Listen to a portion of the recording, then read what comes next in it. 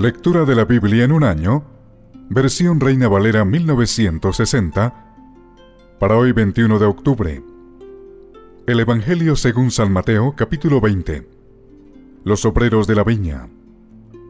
Porque el reino de los cielos es semejante a un hombre, padre de familia, que salió por la mañana a contratar obreros para su viña, y habiendo convenido con los obreros en un denario al día, los envió a su viña. Saliendo cerca de la hora tercera del día, vio otros que estaban en la plaza desocupados, y les dijo, Id también vosotros a mi viña, y os daré lo que sea justo. Y ellos fueron. Salió otra vez cerca de las horas sexta y novena, e hizo lo mismo. Y saliendo cerca de la hora undécima, halló a otros que estaban desocupados, y les dijo, ¿Por qué estáis aquí todo el día desocupados? Le dijeron, porque nadie nos ha contratado.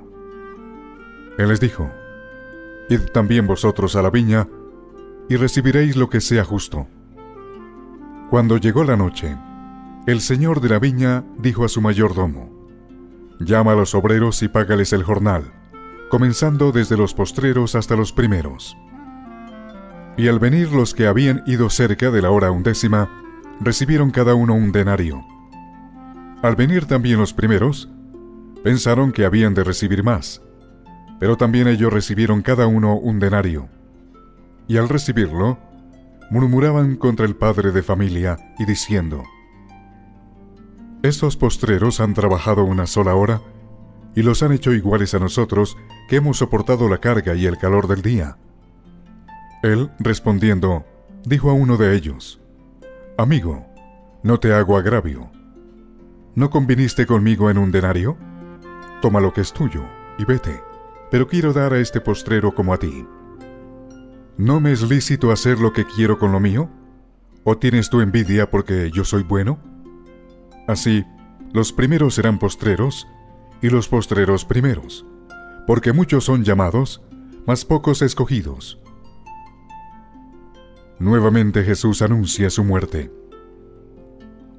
Subiendo Jesús a Jerusalén, tomó a sus doce discípulos aparte en el camino y les dijo, He aquí subimos a Jerusalén, y el Hijo del Hombre será entregado a los principales sacerdotes y a los escribas, y le condenarán a muerte, y le entregarán a los gentiles para que le escarnezcan, le azoten y le crucifiquen, mas al tercer día resucitará. Petición de Santiago y de Juan. Entonces se le acercó la madre de los hijos de Zebedeo con sus hijos, postrándose ante él y pidiéndole algo. Él le dijo, ¿Qué quieres? Ella le dijo, Ordena que en tu reino se sienten estos dos hijos míos, el uno a tu derecha y el otro a tu izquierda. Entonces Jesús respondiendo dijo, No sabéis lo que pedís. ¿Podéis beber del vaso que yo he de beber y ser bautizados con el bautismo con que yo soy bautizado? Y ellos le dijeron, Podemos. Él les dijo, A la verdad, de mi vaso beberéis, y con el bautismo con que yo soy bautizado, seréis bautizados. Pero el sentaros a mi derecha y a mi izquierda no es mío darlo, sino a aquellos para quienes está preparado por mi Padre. Cuando los diez oyeron esto, se enojaron contra los dos hermanos. Entonces Jesús, llamándolos, dijo, Sabéis que los gobernantes de las naciones se enseñorean de ellas, y los que son grandes ejercen sobre ellas potestad. Mas entre vosotros no será así, sino que el que quiera hacerse grande entre vosotros será vuestro servidor, y el que quiera ser el primero entre vosotros será vuestro siervo. Como el Hijo del Hombre no vino para ser servido, sino para servir y para dar su vida en rescate por muchos. Dos ciegos reciben la vista. Al salir ellos de Jericó, le seguía una gran multitud, y dos ciegos que estaban sentados junto al camino, cuando oyeron que Jesús pasaba, clamaron diciendo, Señor, Hijo de David, ten misericordia de nosotros. Y la gente les reprendió para que callasen, pero ellos clamaban más diciendo, Señor, Hijo de David, ten misericordia de nosotros. Y deteniéndose Jesús, los llamó y les dijo, ¿qué queréis que os haga? Ellos le dijeron, Señor, que sean abiertos nuestros ojos. Entonces Jesús, compadecido, les tocó los ojos, y enseguida recibieron la vista, y le siguieron. Evangelio según San Mateo, capítulo 21. La entrada triunfal en Jerusalén. Cuando se acercaron a Jerusalén y vinieron a Betfagé, al monte de los olivos, Jesús envió dos discípulos diciéndoles, Id a la aldea que está enfrente de vosotros, y luego hallaréis una asna atada y un pollino con ella. Desatadla y traédmelos. Y si alguien os dijere algo, decid, el Señor lo necesita, y luego los enviará. Todo esto aconteció para que se cumpliese lo dicho por el profeta, cuando dijo, Decid a la hija de Sión, He aquí, tu rey viene a ti, manso y sentado sobre una asna, sobre un pollino, hijo de animal de carga. Y los discípulos fueron e hicieron como Jesús les mandó, y trajeron el asna y el pollino, y pusieron sobre ellos sus mantos, y él se sentó encima. Y la multitud, que era muy numerosa, tendía sus mantos en el camino, y otros cortaban ramas de los árboles y las tendían en el camino. Y la gente que iba adelante y la que iba detrás aclamaba diciendo, Osana al Hijo de David, bendito el que viene en el nombre del Señor, Osana en las alturas.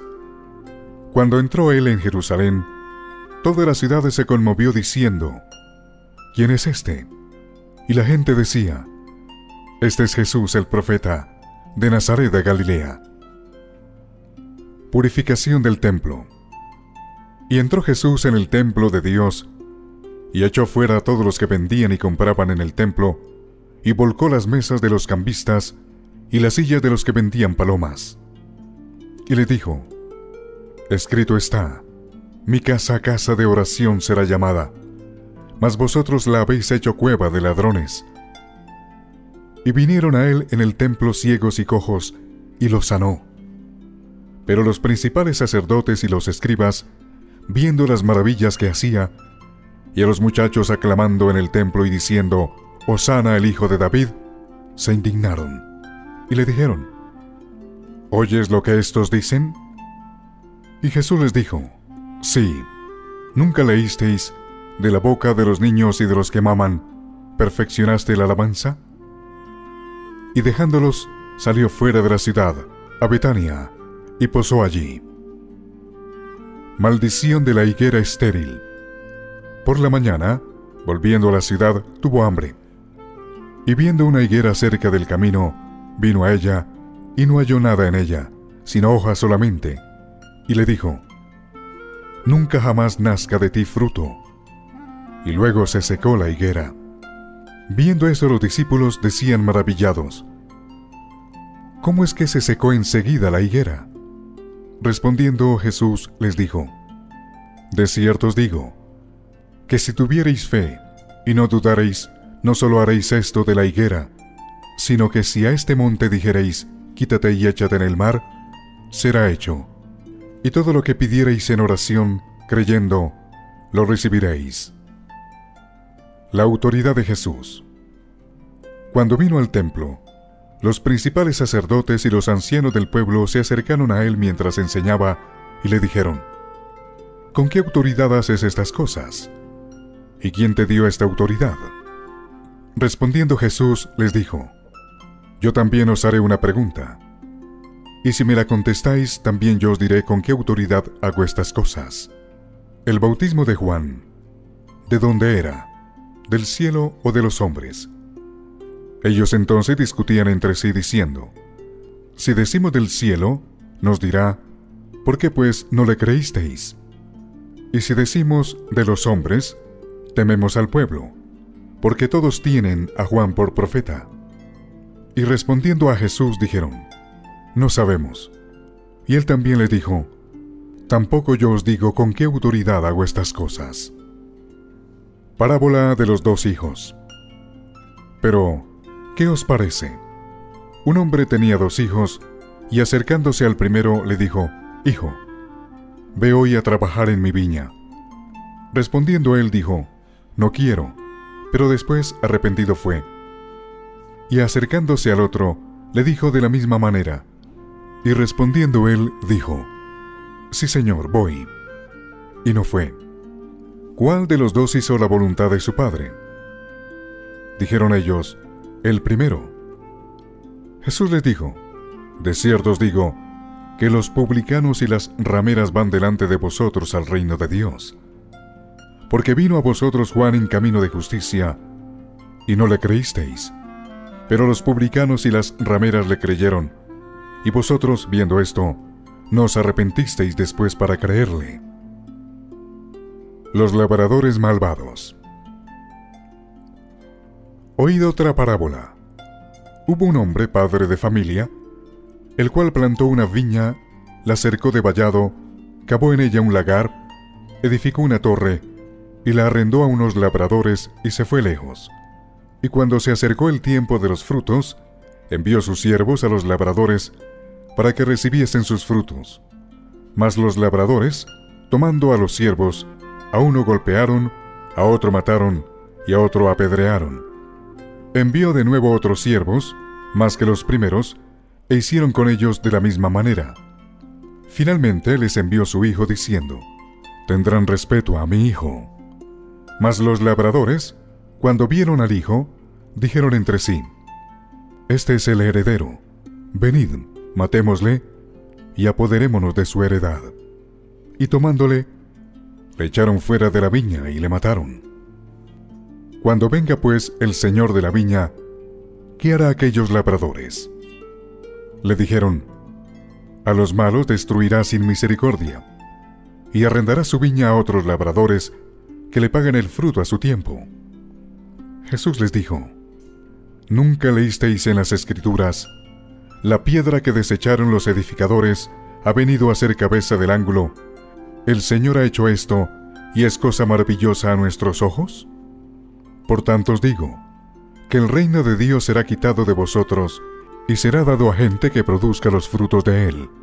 Y el que cayere sobre esta piedra será quebrantado, y sobre quien ella cayere, le desmenuzará.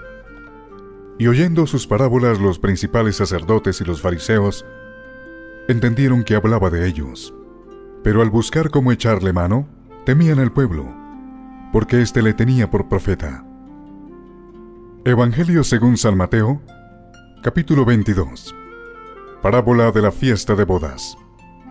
Respondiendo Jesús, les volvió a hablar en parábolas diciendo, El reino de los cielos es semejante a un rey que hizo fiesta de bodas a su hijo y envió a sus siervos a llamar a los convidados a las bodas, mas estos no quisieron venir.